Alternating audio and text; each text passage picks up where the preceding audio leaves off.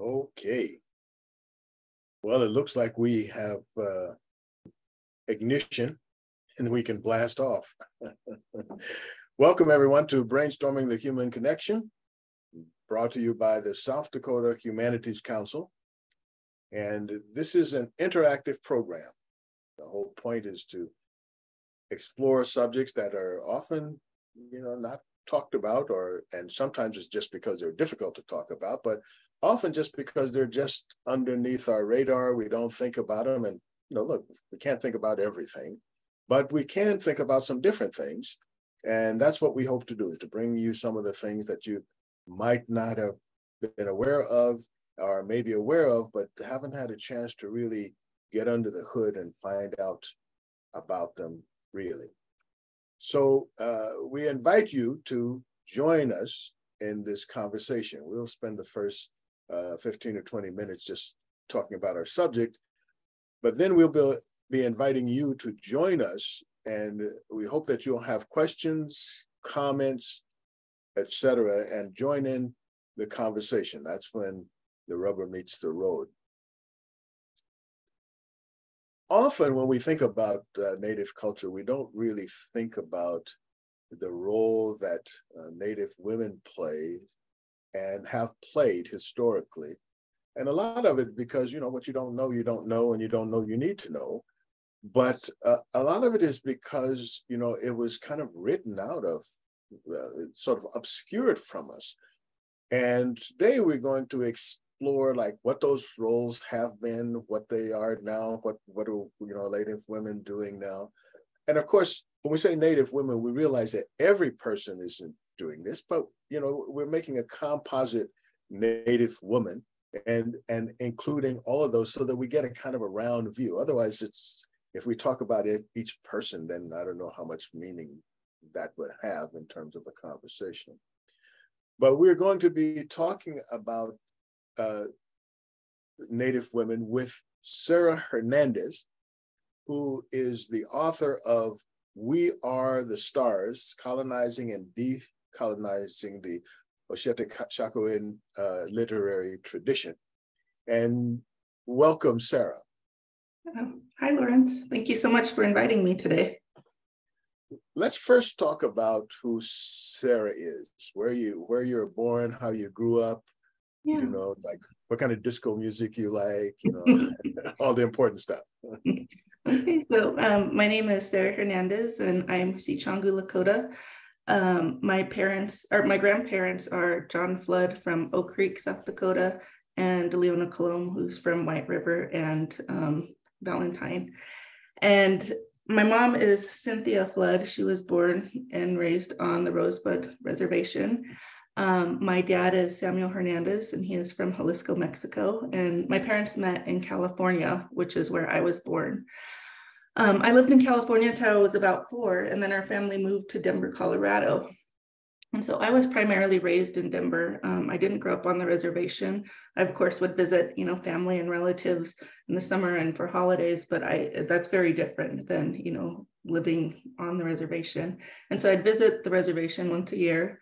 Um, but I primarily grew up in Denver and I attended predominantly white schools. And you know, in these schools, I never had the opportunity to learn about my language or my culture in any way. And so when I went to college and I started going to graduate school, I made a really conscious and deliberate effort to start learning more about Native American literature in general, but Oceti Sakowin literature specifically. And so I wanted to learn more about tribal writers from my own community. And so that really has been, um, you know, my main career goal. That's as an assistant professor at the University of New Mexico, my research again focuses on Native American lit, but specifically Dakota, Nakota, and Lakota literature. And so I was really fortunate um, during my graduate studies to come across the Oak Lake Writer Society, which is a first of its kind tribal writer group for Dakota, Nakota, and Lakota writers. And so hopefully a lot of your audience members are already familiar with Oak Lake. Um, but I've been a part of Oak Lake for almost 10 years. Um, our mentors are Dakota scholar Elizabeth Cook Lynn, um, Charles uh, Charles Woodard, who I see is online today, um, Lo Amiot. These were our mentors for a long time. And, um, you know, they had a really profound impact on my scholarship and my personal life. And so I'm really grateful uh, for the Oak Lake Writers Society for helping me reconnect um, with Sakowin culture and literature. And so I'm really grateful for that experience. Let's talk then about your book because your book is uh, sort of encapsulates our subject today. Um, tell us about this this cover. That's a very interesting cover. Yeah, I'm actually really proud of the cover of that book. Um, it was designed my, by my brother Ruben Hernandez. Um, he's a graphic, you know, graphic design artist.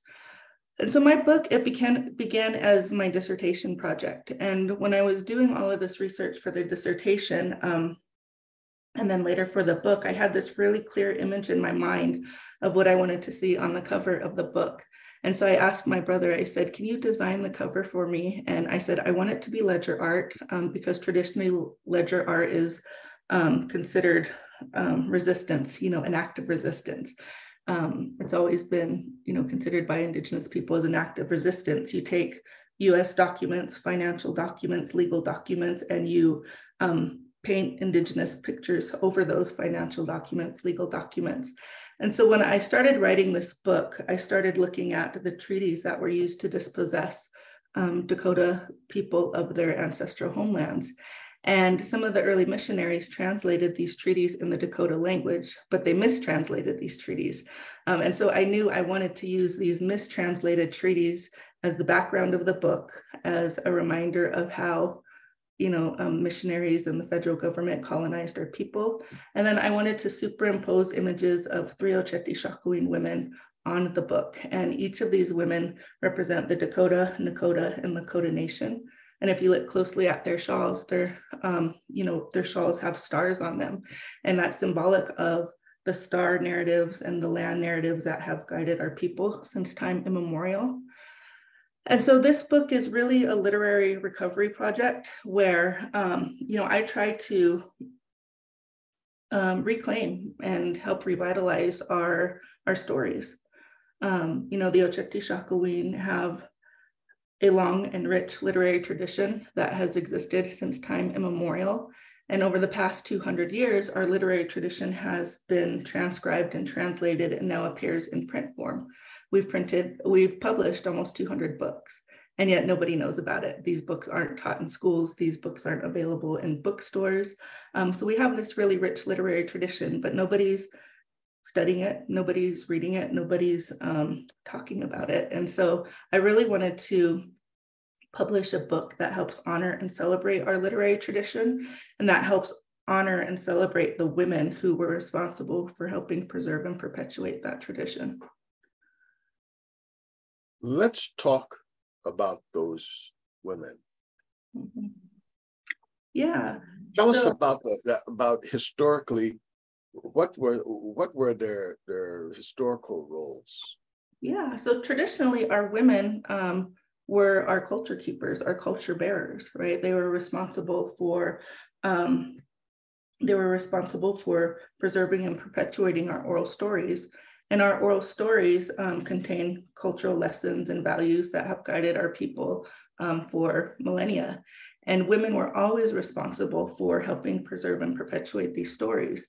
But, um, you know, uh, colonization, war, um, dispossession, they interrupted that role that women traditionally played in tribal society. But what I argue in my book is that um, our women are, you know, they're they're resourceful and they're resilient and they found really creative and innovative ways to reimagine our oral stories as print literature um, that might be poetry that might be a short story that might be a novel but they found really creative ways to keep our stories alive and that's where really what i'm trying to celebrate in in this book and so i look at three authors um, charles eastman who used his text. He was the first published Dakota writer. He used his text to preserve his grandmother's teachings. I look at Ella Deloria, who spent her entire life traveling across the country trying to preserve our oral stories and our languages for us. And I look at Elizabeth Cook Lynn, who is the founder of the Oak Lake, is one of the founders of the Oak Lake Writer Society. And did these really amazing things where she would reimagine our oral stories as poetry, as short stories, as novellas. And so I just really wanted to, you know, again, celebrate those women for sustaining our oral tradition, um, even today. Can you tell us a bit more before we get more into the book? Uh, can you tell us a bit more about the title of yeah. the book? Yeah, um, the title of the book. So when I initially started writing this book, I had a really boring academic title for the book. I think it was something along the lines of colonizing and decolonizing Oceti Sakowin literary tradition. And I was discussing the book with um, our mentor, Elizabeth Cook Lynn, and she said, you really need a title that is, you know, powerful and that's gonna grab people's attention. And I remember a few days later, she called me and she said, I know what the title of your book should be. It should be We Are the Stars. And that title is really appropriate. And I think it's appropriate because stars allude to our star narratives, which, like I said, have guided us since time immemorial. Um, but it's also, I think, really important, uh, really appropriate because that word stars, um, you know, it, it helps recenter Dakota women. We are the stars. We are the leaders of our own stories, right? Um, so I think We Are the Stars is a really appropriate story, but yeah, Elizabeth Cook Lynn came up with the title, and yeah, it's a way to honor our oral narratives, which still guide us today. But when you say we are the stars, can you unravel that a bit for us? Expand on that. Yeah, yeah. So um, the Oceti Sakowin, um, our oral narratives are star stories. So Dakota people, their creation narratives tell them that they are star people who came to Earth um, at a very specific site in Minnesota, and that's where you know uh, Dakota people and their ancestors emerged at Bdote, a specific spot at the confluence of the Minnesota and Mississippi rivers. Um, and so it's their create it's Dakota people's creation story. Um, and so this this title, "We Are the Stars," refers to that creation story, um, which I also examined throughout the entire book um, because one of the things I was really trying to emphasize is that you know early missionaries said these creation stories were going to disappear that they were quote going to go the way of the buffalo meaning our oral stories were going to become extinct and what i show in our, this book is that our women kept these stories alive um, and like i said they reimagined them in very creative and different ways and so these stories still exist today both in oral and in print form um, which is what the title is trying to acknowledge. We are the stars. We still have these stories. They're still alive and well in our communities and in our culture. I think it's worth pointing out that the buffalo didn't disappear either. No, it didn't. And that's a direct quote from one of the missionaries. He said, yeah. their language, their literature is going to quote, go the way of the buffalo. And that so so, so maybe maybe they were right because the buffalo is still here. yeah, yeah. The They're coming back. Um, I want to remind our, our audience that uh, we have a chat and it, it's down at the bottom of your screen. You can click on that and then you can, uh, if you don't have, let's say, if you're not really comfortable talking uh, on the Zoom, maybe you can put in your question or comment in the chat. And uh, you, you should look in there from time to time because Kobe and and uh, Carolyn and others are are are putting in links and things for you in in the chat. And if you click on those little three dots that you'll see, you will be able to um, actually download the whole thing to your computer. Okay, so that's that's useful to um, remember. Let's talk about what you mean when you say that um, you know when we talk about the importance of in the daily lives of native people and we talk about the importance of women in that give me some kind of idea of of what they were what they were doing. What how did they how did they do that? What was their their role actually? Uh, by you know they were the mother of our you know they played the role of wife and mother. They were nurturers. Um, they were you know um, both cultural and national leaders in our communities um, our women, Elizabeth Cook Lynn has a really great line in her book, Aurelia, and she says, Our women were, um, which is, it's, our women were um, companions to men, mothers to children, um, feeders of the people, and keeper of the stories. And so those are the four main roles that women have traditionally played in our society. And I keep seeing this idea reimagined in each one of the texts that I um, analyze in my book. Um, Sakowin women keep reimagining this role in a modern tribal context. And so it's still, you know, these responsibilities, they still exist today. Um, they might look a little different than they did in the past, right? But our women still play all of these important roles in our culture and our community. And it's these roles that keep our culture, our language alive. Um, and so, yeah, women, they have always used stories to, you know, keep our culture and language alive and to make sure that exists for future generations. One of the observations I've had is that as a result of a, a concerted effort to knock off the men in these cultures during those the, those uh, horrible wars, the women who were left were left actually are sort of with the responsibility, and I put that in air quotes, um, for creating men. Mm-hmm. Because a lot of the people who were the, let's say, the the the the, uh, the male roles were mm-hmm. gone. It's not like every man was gone, but a lot of of the men, anybody who was like fighting age, kind of mm-hmm. Got knocked off. And so there weren't a lot of roles. I'm curious as to how, you know, a woman who's suddenly placed in that role, how do they then go about um, creating men without male role models? And, and I say that with this one caveat also it's not just philosophy that makes a man. It's not like something you tell him. It's like how he walks, the little subtle things that he does, even how he smells, mm-hmm. plays an impact on having, you know, like having giving a, a, a boy something to like see himself in. How how do how did women yeah you know uh, I think before I answer that question, I want to provide a bit more historical context um, okay. because my book focuses primarily on the U.S. Dakota War of 1862, and after the um, you know, U.S. Dakota War, our men were imprisoned in concentration camps in um, Minnesota, in Minnesota and Iowa, and our women were forcibly marched from their ancestral homelands in Minnesota to Crow Creek in South Dakota. And so when they arrived in Crow Creek, it was primarily women, children, and elders. And suddenly women had, again, that use that word responsibility, they had the responsibility of taking care of their families without their brothers, without their fathers, without their husbands. Um, they were forced, yeah, to find ways to take care of their families.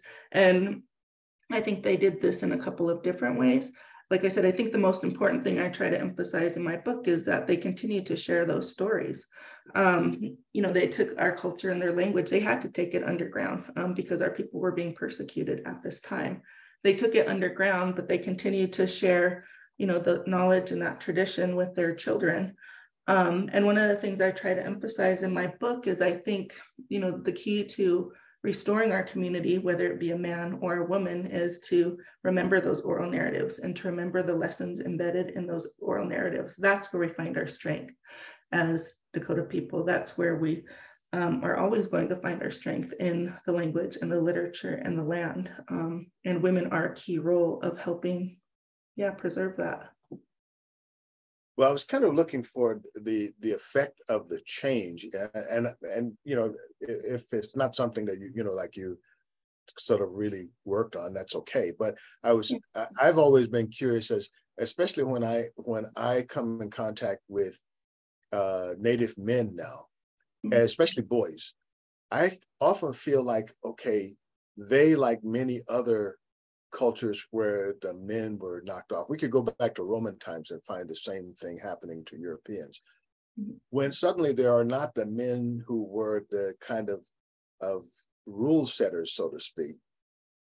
If if they weren't there, there was a certain kind of disarray, and then people tried to accom- you know accommodate that. But it really was disrupting in terms of continuity of ideas. And so I'm just wondering how that has affected Native people coming yeah. forward to today. Well, I think one thing I also want to distinguish is uh, or differentiate between is the fact that um, Native societies are often matriarchal, right? They're mm-hmm. matriarchal mm-hmm. in nature. Yeah. They've always been, and so yes, it was a big blow when you know we lost a lot of our men to those internment camps. Um, but I think yeah, one big difference between Western society and tribal society is that we've always been matriarchal and we've always looked toward our women to be the leaders um, of our communities. And so in the last chapter of my book, I do talk about Elizabeth Cook Lynn's novella, That Guy Wolf Dancing. And in that book, Liz talks kind of what you're referring to. She talks about the fact that, um, you know, our men are struggling after the U.S. Dakota War, after you know all of these dams were built and flooded the Crow Creek Reservation. She talks about the fact that our men struggled, and so that guy Wolf Dancing is about a young man who, um, you know, goes on a journey to um, discover himself, to you know, strengthen and empower his community, and in that book, what she really emphasizes again is that it's going back to the stories and it's looking back toward our women. Um, that's where you're going to find, you know, your strength. And so she really emphasizes that, I think, really well in her book, That Guy Wolf Dancing. And that was uh, that was her last novella as part of the Crow Creek series. So yeah, I think that's a really good book to look at. Yeah, excellent. Well, I'm going to open it up uh, at this time to our esteemed audience and uh, panel here. Uh, do you, anyone have any uh, questions or comments that they would like to, to uh, add to our conversation? Just unmic yourself and start talking. Yeah, I'd like to comment. This is Lanniko, and I'd like to comment on the title. Um, oh, yeah, Lanniko, your your your mic is kind of of uh, low yeah, yeah. I mean, we can kind of, I can kind of hear you, but it, you know. I'm sorry. Um, can you hear me better now? Yeah. I let you go. Yeah, anyway, go ahead. Go ahead. Anyway, what I wanted to say about the title was that, um, you know, some of us grew up realizing um, from the stories that we heard that we did come from the stars, and part of our uh, experience here as humans is translating an understanding of what that means to be among our own in another setting, having uh, experiences and adventures as any human does. But then when we pass away, we return to the stars in our spirit journey. And so I thought the title was terribly appropriate because it's just so many things that um, comes to mind about our mythologies, our cosmologies, however, which way you want to identify that, um, how we see ourselves in this world. And a lot of indigenous tribes around the world have similar um, stories about coming here from the stars and returning upon our physical death. And uh, I'm just to cite a few are the Australian people, the indigenous there, and also the Hawaiians have the same um, story uh, experience. So it's nothing new. Um, it's just that it's not been a part of a way in which we interpret our um, our presence as humans and our absence because of the way in which we have come and gone.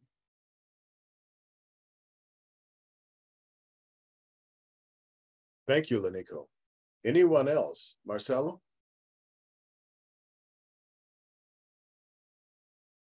I'm trying to figure out how to unmute. you you have unmuted.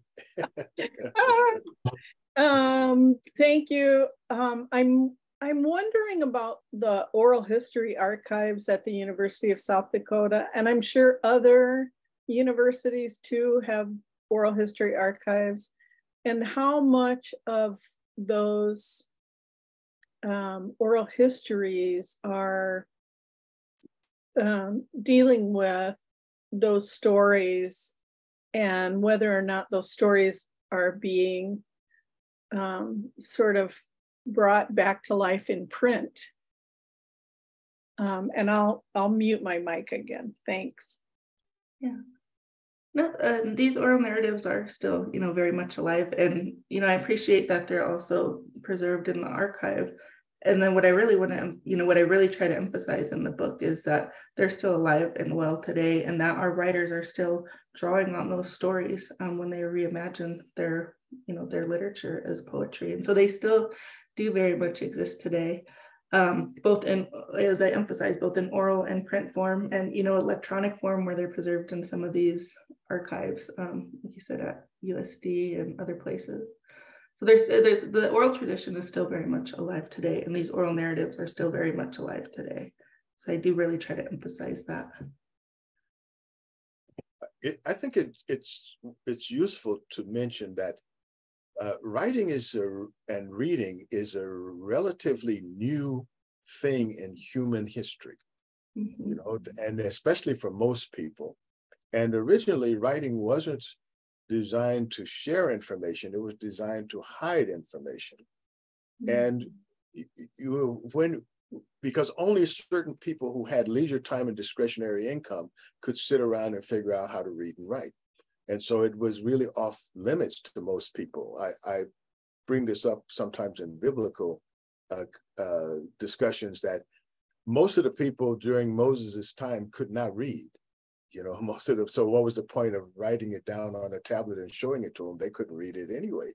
At least that's that's what that's what we understand from from history. So yeah, one of the things that happens when you translate um, the oral histories is that the translation into print loses a lot of what the voice adds to the story.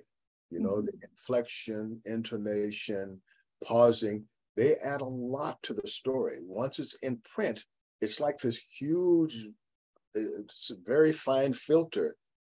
And so I'm wondering how that just, you know, despite the fact that, you know, there were intentions, you know, it, bad intentions, but how does that play on keeping the history alive when just by definition, lot is a lot is going to be lost? Yeah, no, I agree with that. A lot is lost. There's a big difference between the oral tradition and this new printed literature. And every one of the writers that I cite in my book also emphasize that, right? That there's something being lost in this translation, this transcription process. Um, but one of the things I did want to mention is um, you know, you mentioned that writing was is relatively new, and for Dakota people, we uh, our relatives they didn't begin writing until they were interned in those concentration camps in Minnesota and in Iowa. And suddenly, writing became the only way that they could communicate with their family members. And so they didn't um, choose to start writing and to start communicating that way. They were forced to communicate that way. And so, um, yeah, writing is, you know, a fairly new um, tool I guess you can call it, um, that Dakota people have used to preserve and perpetuate their culture and language. But I would also say that, you know, what I argue in the book is that they do try and these writers have come up with creative and innovative ways to reclaim our stories. Um, you know, I think about Ella Deloria, and she went back and she, the missionaries, when they first um, came to Dakota Territory, they started to collect, compile our oral stories and translate and transcribe them. And Ella Deloria, um, you know, 20, maybe 50 years later, she came along and she corrected and retranslated all of those oral stories. And she wanted to do it from um, a cultural perspective. And so one of the things I talk about in the book is she worked her entire life to do this, and then it was never published right? It was never published. The missionaries had already staked their claim on the Dakota literary tradition. Their books have been published probably 15 times over the past 200 years. Deloria's books, her translations on the oral tradition are still um, in an archive at the Dakota Indian Foundation, haven't seen the light of day. And I argue that this is because missionaries, colonizers had already staked their claim on the literary tradition. And so I want to see, you know, Ella Deloria, the rest of Ella Deloria's work published. We have her really great, you know, novels, Water Lily, and her book, Speaking of Indians, but she has more oral stories in her archive that need and deserve to be published, and they just haven't been yet.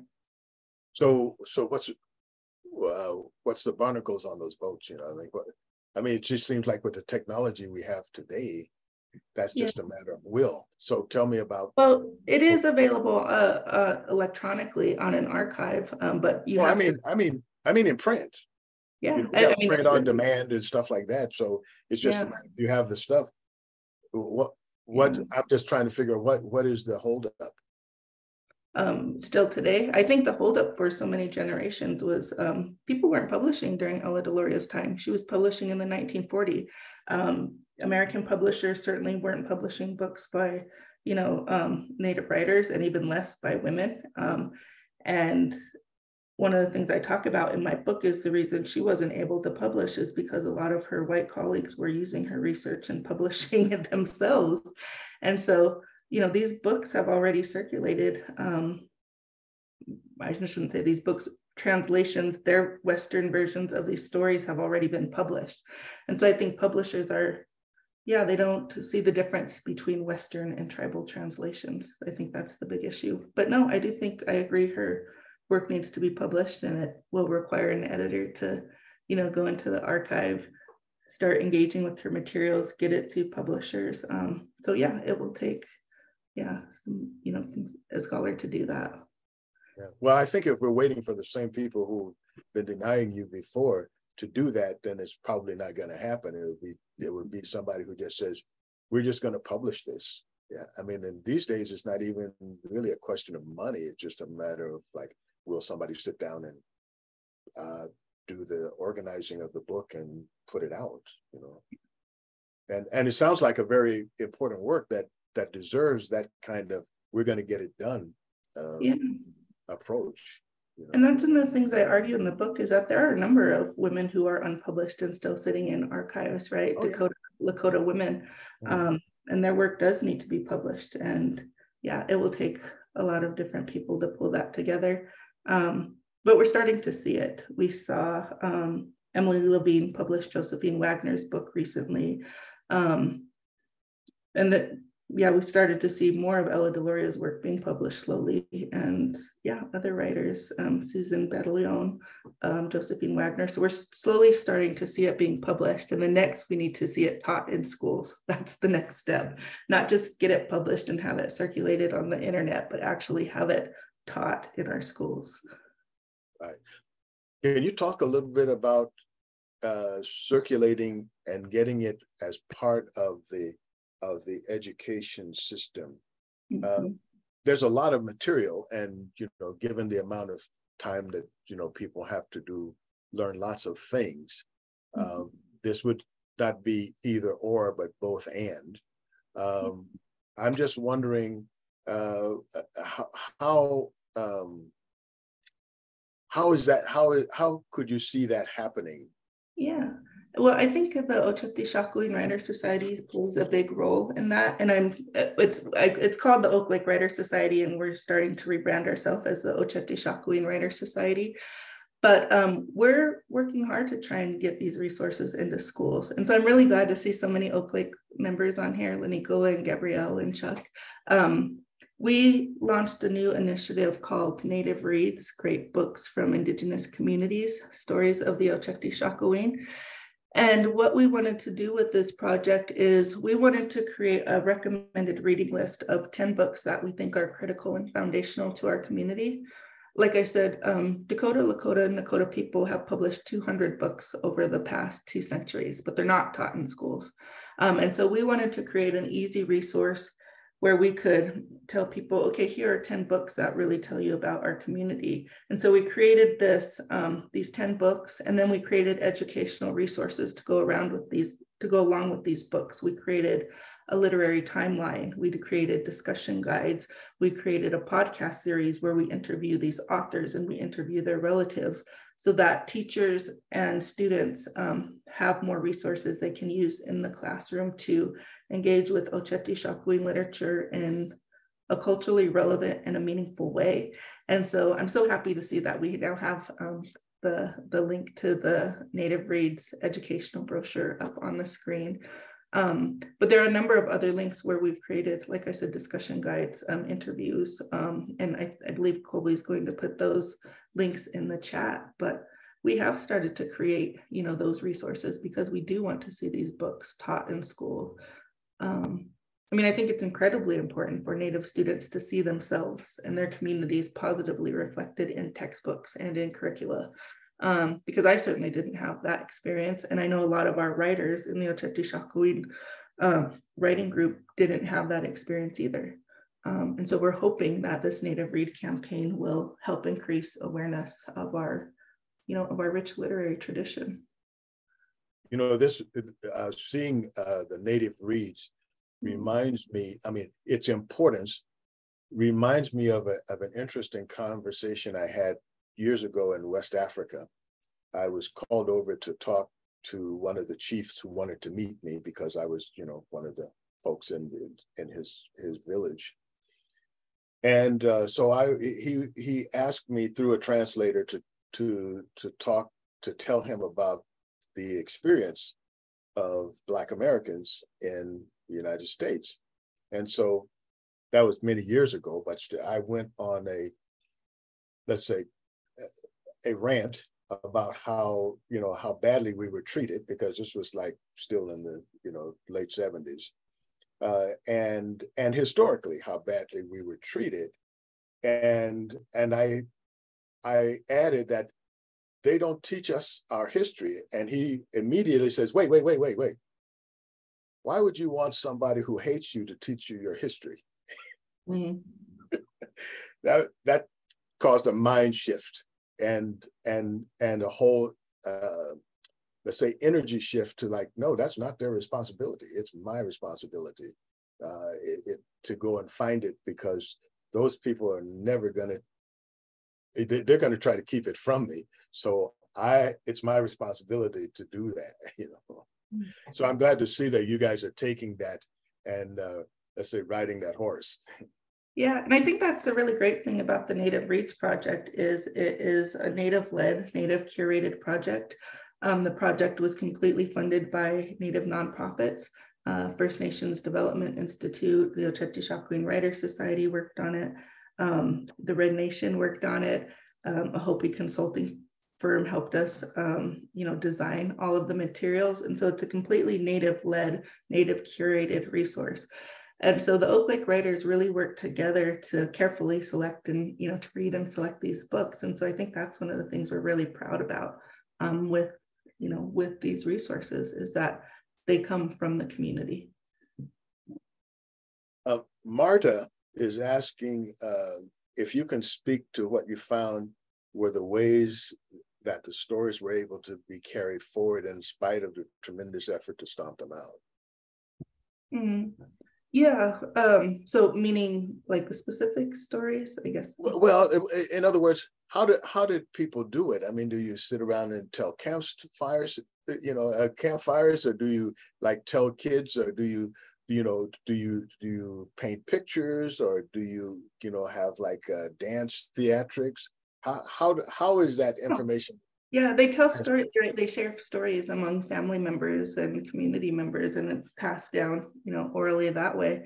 Um, and then again, I think our women started to think about um, how can we preserve these stories as literature, and so then they begin um, reinterpreting them as poetry, as like I said, short stories, as novellas. But yeah, traditionally it's passed down from family to family, community to community, um, orally.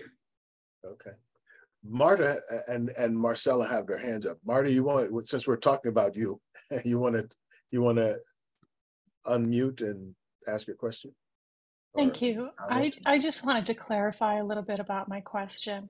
Okay. I understand your research was about a specific time period, and um, I, you know, my very small understanding of that time period was that um, you know the efforts to stop families communicating to stop um, parents communicating with children to stop um, elders communicating you know with the rest of their family group were really really severe. And i just wondered you know you talked about how they had to go underground to do that kind of communication. And um, I feel like that oral tradition of storytelling must be a very close personal kind of relationship where you sit down with your grandma and you hear the story literally on her lap So, how does one do that kind of storytelling when you're literally being ripped apart from your family? How do you save those precious, precious values that are shared through those stories? Yeah, yeah, no, I mean, you're right. That's what boarding schools were intended to do, right? Extinguish our language, our culture, our literature. And in a lot of ways, it was successful. So, you know, speaking personally, I never had the opportunity to sit on my grandmother's lap and hear these oral stories. Um, but I know that there are a lot of families that did, and that's why these stories are still alive today. They did go underground and they did um, you know, share them with their children, with their grandchildren. Personally, I didn't have, you know, I wasn't able, I didn't have that experience, unfortunately, because of colonization and because of the devastation, you know, caused um, caused that way. But people and families did it, and they shared it orally, and they shared it in the traditional language, and so it does still exist today. And I think it's such a gift that there are writers willing to share that knowledge, um, you know, in their printed literature. Were Were you able, Sarah, to talk to any first person um, kind of experiences and, and hear how people did hear those stories well, passed think, to them? I think being part of the Oak Lake Writers Society, that often comes up in our discussion, right? People reflect fondly on their families, their communities, the stories they've heard. But I never explicitly sat down with somebody and, you know, played the role of anthropologist and said, you know, what stories were you told? How were you told? You know, how were they told to you? Um, we we never had those specific conversations, but I think um, organically we talked about those things um, in our discussions at the society. Yeah. Thank you. Thanks. Marcella, you had uh, something to add to our conversation.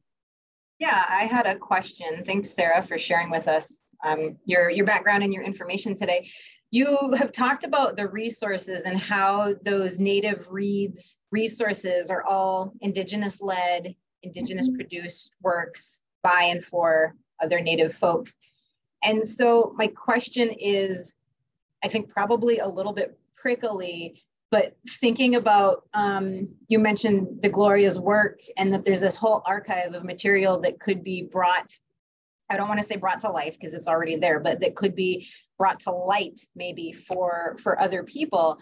And i wonder if you have any thoughts on the value of whether or not that those works need to continue to be brought forward solely by indigenous folks or if there was value say there was a graduate student a white graduate student who found value in wanting to bring those things forward i mean would that even make sense or or not you know, uh, one of the things I think about in my own research is that our language and our literature has been, um, you know, often exploited, published by graduate students, by scholars to make a name for themselves as academics. Um, and so I think, you know, we just made really huge strides with the Native Reads Project, where for the first time in almost, you know, two centuries, Native people have taken control of their literature and their stories. And I want to see, in a lot of ways, I want to see that continue on where our own people um, have control of our literary traditions. Now, that doesn't mean that non natives can't or won't study um, our literature, but I think they can collaborate with Native people to do that, um, you know, in a positive way. But no, I mean, I, I, you know, I just, I think what really just makes me so happy is that it's Native people who are helping lead this right now. And I think it's time right? A lot of those early um, academic studies did a lot of damage to our culture and to our communities. Um, so I really do think it's time after 200 years for you know citizens of tribal nation of sovereign tribal nations to take control of their literature and their language. That creates an that creates an interesting um, uh, conundrum, so to speak, mm-hmm. because um, valuing it very much what you're saying, you know, like, okay, people need to take control of their narrative. And then you have a person who wants to do something in air quotes. They want to be play an active role. But that active role that hasn't really been defined. I mean, something that people can actually do. It hasn't been defined. I would say that that is something that the same native writers could do is define that role. But as far as I can see, that role isn't clearly defined. So it yeah. almost it almost sidelines the people who who would want to do something positive. I'm not quite sure how we'd handle that. I think we need to start asking ourselves what it really means to be an ally, right? Um, being an ally doesn't mean just taking um, our language or culture and, like I said, using it to make a name for yourself in graduate school or to get yourself a degree. It's really about collaborating. And, you know, I have a lot of non-native students at University of New Mexico, and they often ask this question too, how can I um, engage with native literature in a meaningful way where I'm not exploiting it further, where I'm not doing more damage? And so I think asking that question is an important first step, and I think we're still trying to figure it out. Um, but yeah, I think there is a way that we can collaborate, but um, yeah, again, I just I don't want to take away from the idea that this is one of the first times, right, that after 200 years where we've come together and we've tried to promote that literary tradition. And I'm glad that we have allies who are willing to help us. And I think, you know, we have one of our really strong allies here on the call today is Dr. Woodard. Dr. Woodard is a native, but he created this platform, the Oceti Sakowin Writer Society, to help elevate our voices. And so I think that's the meaning of a you know, of a good ally, of a strong ally. So I don't think it's a matter of, oh, non-native people can't write about native people at all. I don't think that's, you know, that's the issue, but we have to start thinking about how we can collaborate and how, you know, non-native people can help elevate those voices. Right. And there, there are other things to do besides actual doing the writing and translating. I mean, there's a lot of pieces to the puzzle to, you know, to to get that get that uh, message and those stories out there and to create opportunities for uh, native people to uh, to tell their story as opposed to having someone say well let me tell this tell you the story that was told me to me that's the last resort is like to tell your story especially for people who are still developing their voice because their voice was cut before i think it has to have an incubation period. It has to have a way, a time in which people say, okay, now that we we have uh, legs a little bit, where will we go? You know, now that we can walk, where will we go? And that takes time. You know, it just it just does. Tara, you you look like you're anxious to uh, to add something to our conversation. Uh, thank you very much, Lawrence. Um, I just had a question also about that as a white parent to Native children and my role in trying to help them to cultivate their culture and the best way to go about that. And also as a director of a public library and bringing it in, I've brought in um, the Dakota Daughters talking about Wounded Knee. We've read the Seed Keeper. We read um, last year's book as far as one book, South Dakotas. But when I do have those programs as well, it's a bunch of um, women 40 years old and up that are sitting around talking about it. And I've always said that I'd love to have um, that native aspect as well to to bring that in and have those voices heard. And i i feel like i try my best you know to help with the language and the correct pronunciation because I myself tried to learn it as well to try to teach that and to speak that with my children to instill the the culture as well and to keep that alive. Um, so I just wonder what the best way for me as a parent and also a city employee in a public library to to move forward in that ally position, but also um, trying to cultivate understanding and sensitivity and learning as well. So yeah, no, that's a great question. And, you know, one thing I would also recommend is uh, as part of the Native Reads program, we also established um, a list for young adults, for youth. And so we have a list of five books that we think are, um, you know, would really benefit um, Native youth to learn about the culture and the language. And so our group thought about all age groups, not just adults or college children, but there's a link to another list of books. I think there are five books on um, on that list and they're, they're slipping me now, but I know one of them is Peta Shows Misu the Light by Jesse um, Taken Alive Rencountre. There's um, Virginia Driving Hawk Sneve, um, my father was an Indian and a cowboy, and I uh, the other ones are slipping my mind right now. Yeah. But there's a list of five books, and I think those are you know a good starting point for some of some younger children, and then also just connecting children with community members. And I think about my own experience. Like I said, I didn't grow up on the reservation, and although I'm really close to my mom, my mom's family, um, because of colonization, we didn't fluently speak our language. We didn't practice our cultural traditions, and so like I said, when I got to college, that's when I started learning more um, about our literary tradition. And it was through books, right? It was through these books that our literary ancestors left behind for us Charles Eastman, Zitkala-Ša, Elizabeth Cook Lynn. Um, you know, in these books, they left behind um, lessons, you know, to help guide us. And so personally, I turned to books. And then I think my saving grace was the Oak Lake Writers Society that, um, you know, reconnecting with the community that way that has been yeah, really helpful. And I think it made my book that much better. So yeah, ways to reconnect children with the community. Thank you. Thanks. I want to remind folks that uh, we, all of these uh, links, et cetera, people's uh, comments, and when they have them questions, uh, they are in the chat. And again, you if you go on to the open up the chat, it's a little box down at the bottom of your Zoom screen. And if you open it up and then you uh, look, you'll see a little smiley face, and right next to the smiley face, at least that's the way it appears on mine, there are three little dots. You click on those little dots, and one of the options that you will have in that drop down menu is to download all of that to your computer because trying to type it out or remember it can be kind of tricky.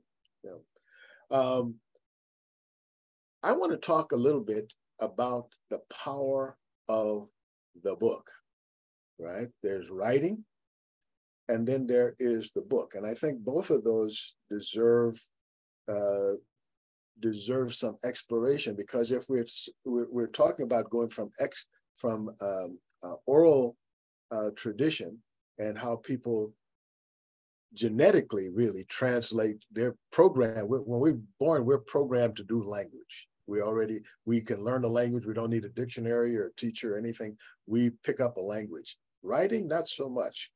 Okay, so it means that I often say uh, reading is an unnatural act. You know, we're not born to read. We have to learn to read, and it's a strenuous processing thing for the brain to do. I like to explore what's what's the payoff? What's the power of the book? What's the thing that the book brings that is uh, that adds something or is more important than the oral tradition because we're switching now. Yeah, well, I think one of the things I'd say first is that for me, reading was so natural. Like, I'm such a nerd and I was such a bookworm as a child. Like, I always loved reading. Um, and then, you know, I think one of the things I always tell my students is I tell them, you know, books are incredibly important um, because they have the power to shape how we see ourselves, how we see our communities, but they also have the power to shape how the rest of the world sees and engages with us.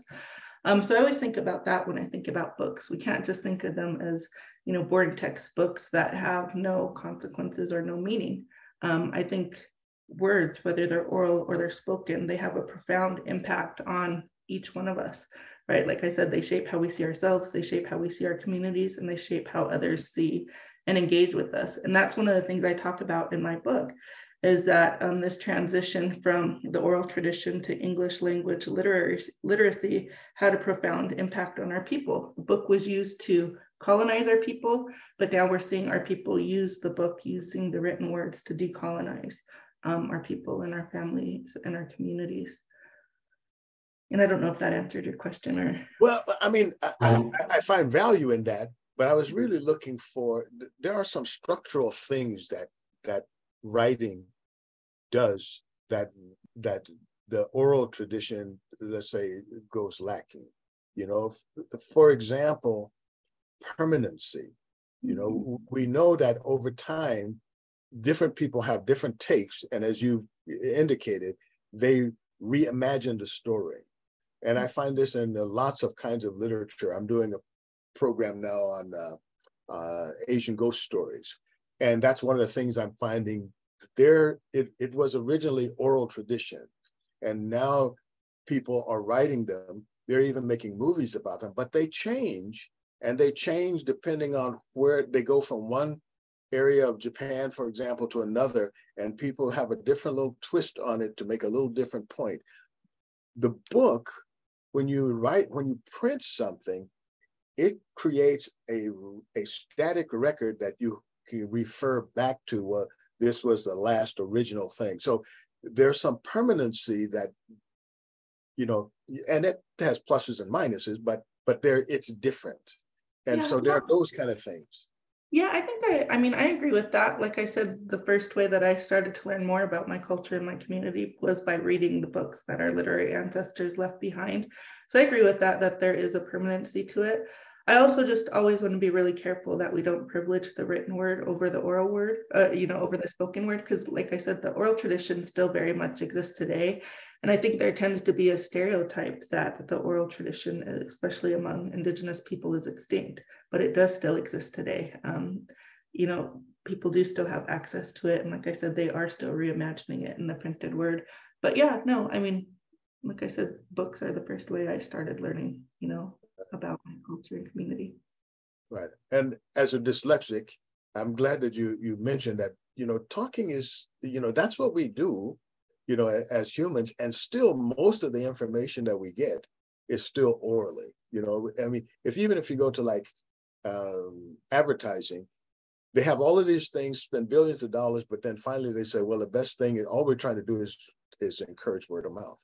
We, we, we're trying to encourage people to talk about it because that's where people, that's where the rubber meets the road for most people's reality is like, you know, that's why this program exists is because we recognize that it's important for people to have conversations about different things and wrestle with ideas. Not that you can't do that with books, but the books to me end up being like the catalyst to get the things started. So that's really important.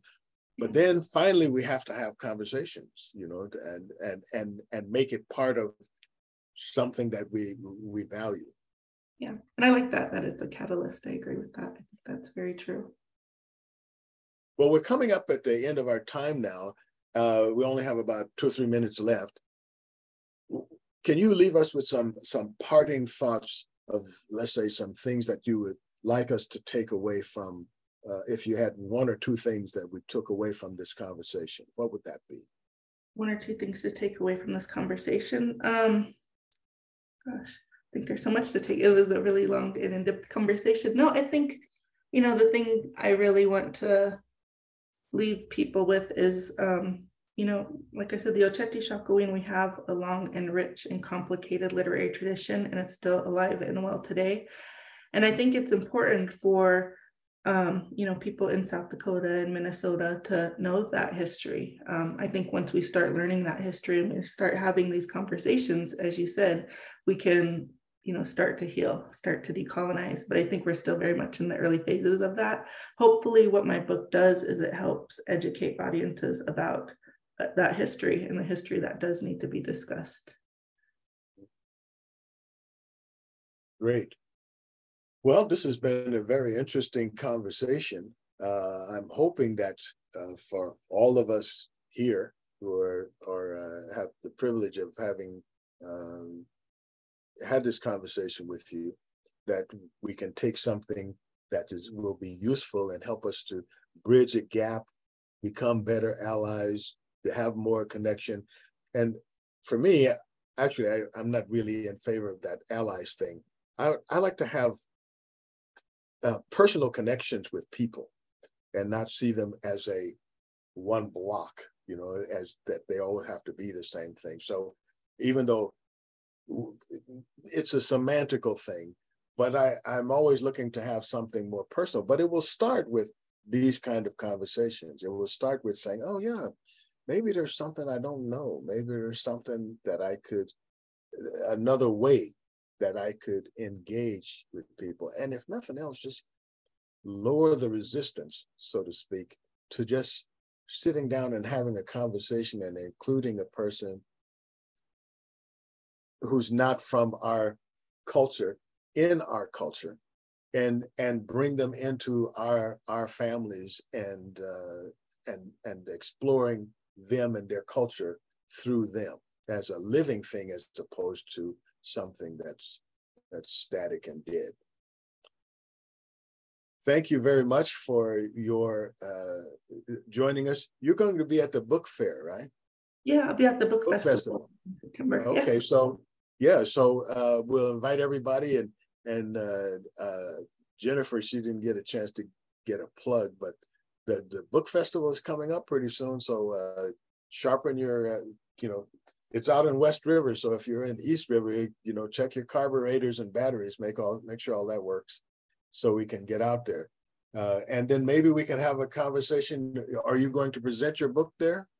Yeah, yeah, I okay. believe. Yeah, I'm going to present the book there.